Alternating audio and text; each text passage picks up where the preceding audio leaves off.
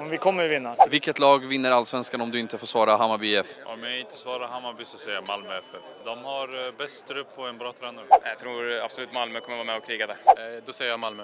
Ja, enligt media så jagar Malmö hem det så då är det väl lätt att haka på det. Om inte jag får svara AIK, men då de som vann förra året.